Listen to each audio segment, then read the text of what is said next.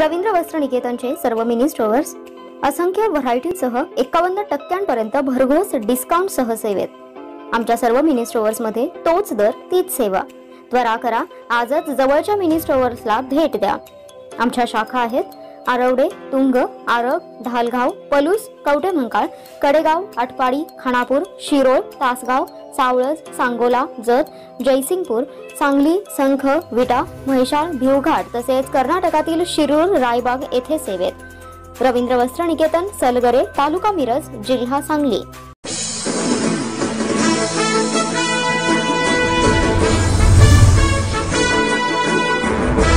नमस्कार. मी मनीषा जयप्रकाश. आपण पाहत आहात लोकसंदेश न्यूज. पाहूया आजच्या सविस्तर घडामोडी. वर्ध्यातील सेवाग्राम येथील विश्रामगृहात अखिल भारतीय काँग्रेस कमिटीच्या प्रशिक्षण शिबिरात काँग्रेस नेते राहुल गांधी यांची ऑनलाईन उपस्थिती होती. राहुल गांधी यांच्या मार्गदर्शनाने कार्यक्रमाची सुरुवात करण्यात आली. त्यांनी उपस्थित सर्वांना ऑनलाईन मार्गदर्शन केले.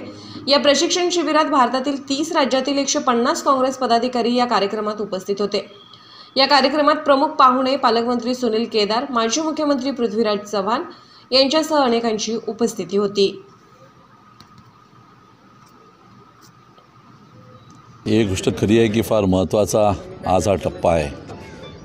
ह्या देशामध्ये एकंदरीत झालेला विस्कळीतपणा ह्या देशामध्ये राहुलजींनी म्हटल्याप्रमाणे द्वेषाचं राजकारण द्वेषाचं वातावरण ह्या देशामध्ये जाती जातीमध्ये भांडण आणि नाही तो त्या ठिकाणी लोकांमध्ये एक रोष निर्माण करून नवीन राजकीय खेळ खेळण्याचा तो एक केविलवाना प्रकार ह्या भारतीय जनता पक्षाने सुरू केलेला आहे.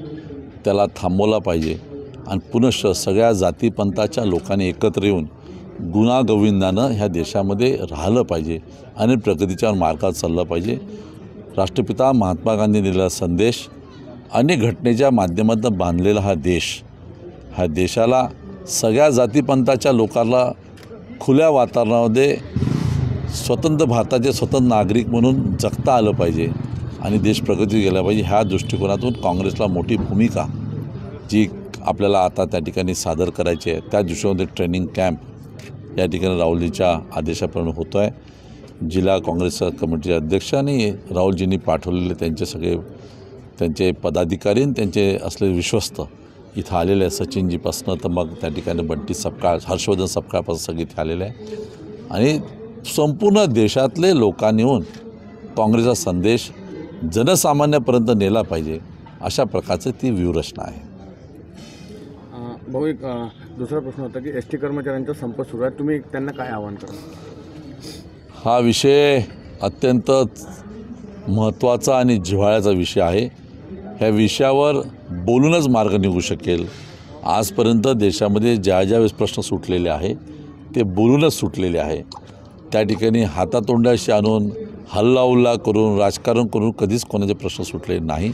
आणि आज ज्या भूमीमध्ये मी उभा आहे त्या भूमीमध्ये त्या भूमीने ह्या देशातले प्रश्न बोलून सोडवलेले आहे असा संदेश कृतीतनं दिलेला आहे.